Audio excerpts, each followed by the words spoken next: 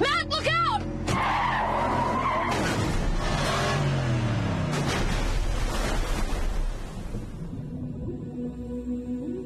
What's the best part about being a vampire?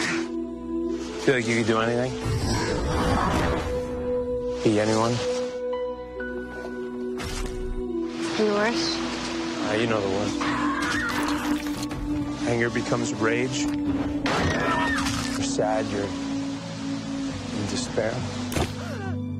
Grief, loss can cripple you. Where is she? No, Damon, Where is she? wait. You need to know when Jeremy brought Elena in here earlier tonight, her injuries were worse than I let on. I helped her. She needed my help. You what? I know that I love you, Stefan. My future, our lives together. Those were things I was supposed to deal with as they came along. I was supposed to grow up, decide if I want to have kids and start a family. I don't want to be a vampire, Stefan.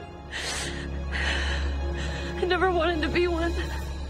You're about to get really freaky. It's never gonna be the same, Elena.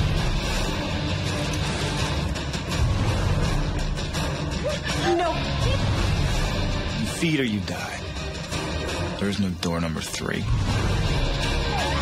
Spirits won't be happy with you. I'm done getting pushed around by all of you. You weren't there the day Elena looked me in the eye and told me she absolutely never wanted this. And You shouldn't have let her die. I never meant for her to die.